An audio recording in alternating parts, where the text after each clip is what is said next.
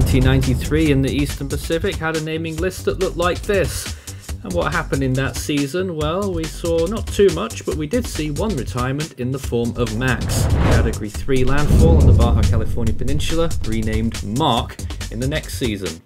August 1999 saw the uh, peak of uh, Hurricane Greg, a long tracking storm but wasn't retired, and so we move on to 2005, which featured Adrian with a very powerful landfall in Central America and Veronica further towards the northwest in Mexico, replaced with Anthony and Verlene for the 2011 season.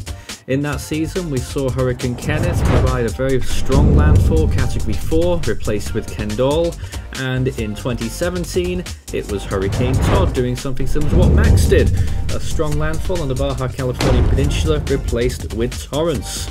And that's the naming list that we've got for the 2023 East Pacific. What might have been season in the What Might Have Been universe, what would have happened if the models had been right?